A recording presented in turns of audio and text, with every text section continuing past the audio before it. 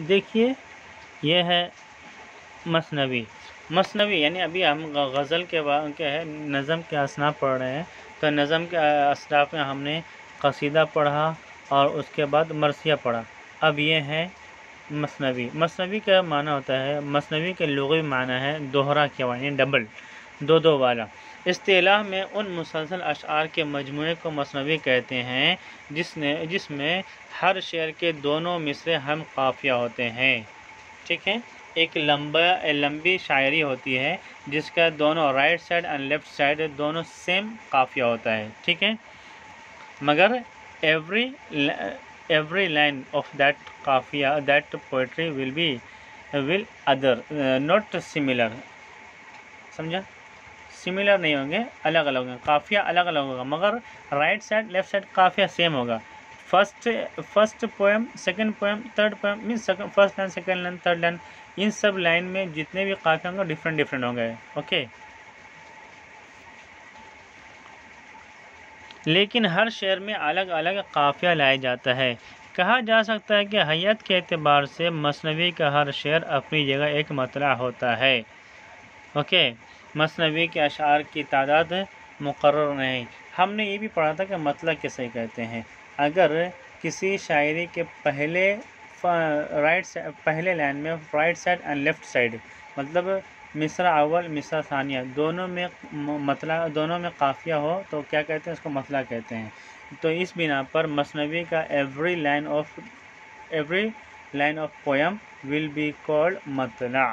ठीक है?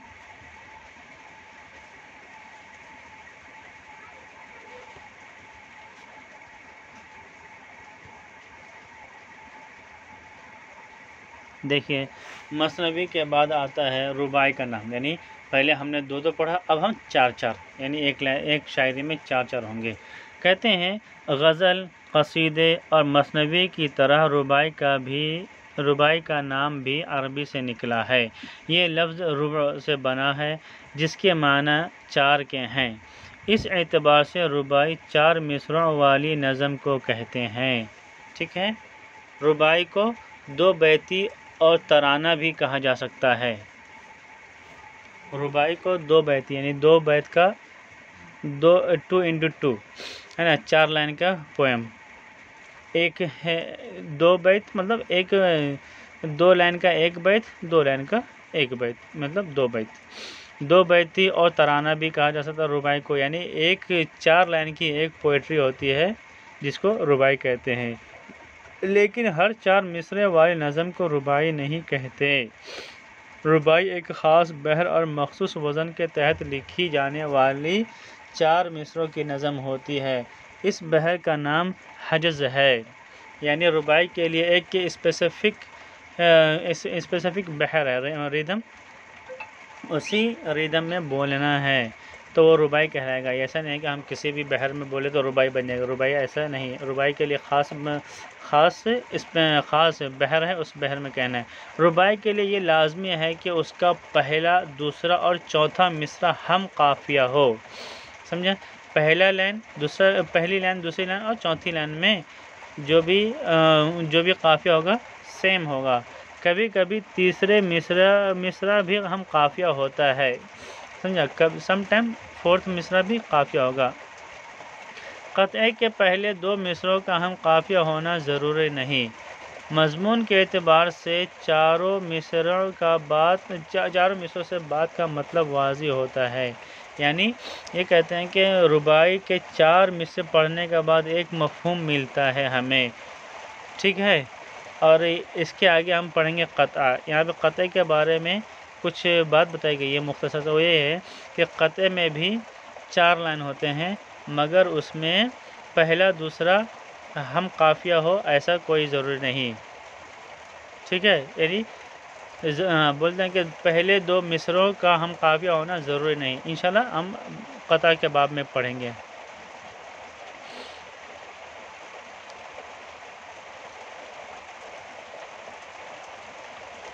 देखिए, यहाँ पे मिसाल दिया गया है। गोचे को नसीम गुदगुदाए जैसे मतरब को साज छेड़ जाए जैसे। यूँ फूट रही है मुस्कुराहट की किरण, मंदिर में चिराग झिलमिलाए जैसे। देखिए, गुदगुदाए, जाए, झिलमिलाए, ये सब काफिया है।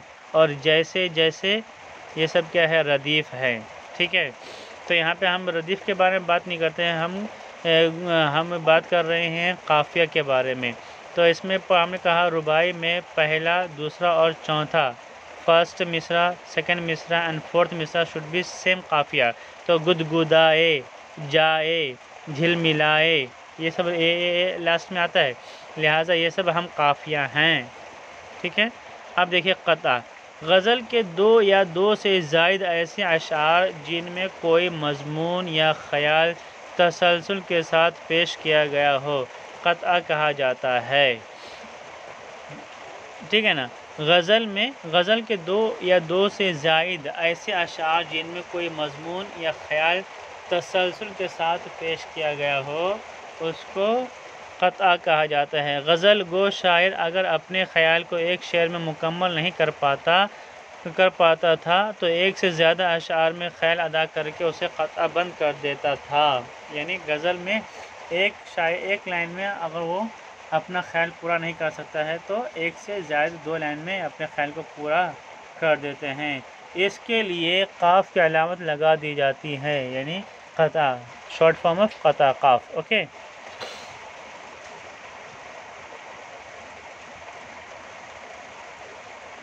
देखिए, यहाँ बता रहा है कि कता कता की अहमियत। रुबाई की तरह कता भी दो अशार या चार मिसरों का होता है। रुबाई में पहला, दूसरा और चौथा मिसरा हम काफिया होता है, जबकि क़त में दूसरा और चौथा मिसरा हम काफिया होना ज़रूरी है।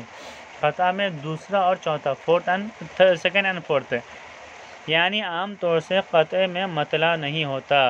रुबाई एक बहर मखसूस मखसूस है, जबकि रुबाई की एक बहर मखसूस है, जबकि क़ता किसी भी बहर में कहा जा सकता है।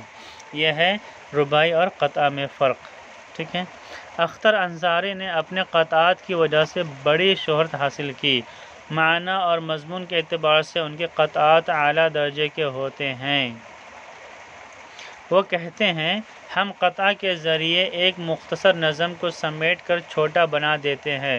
यानी हम क़ता के ज़रिए एक मुख्तसर नज़म को, और मुख्तसर नज़म को और भी मुख्तसर, शॉर्ट करके एक शॉर्ट बना देते हैं, समेट कर छोटा बना देते हैं ओके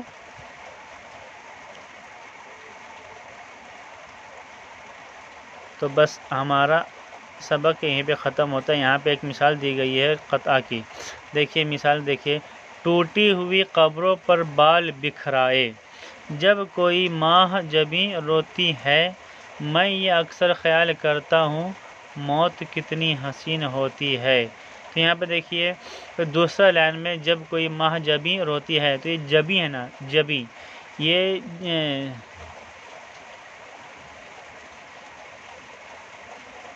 माह जबी रोती रोती तो ये रोती क्या है? काफिया है, ठीक है? और है, ये क्या रदीफ़ है?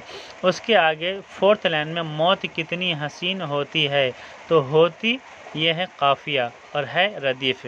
तो कता में second line and fourth line should be same काफिया। तो होती, रोती रोती होती, ठीक है ना?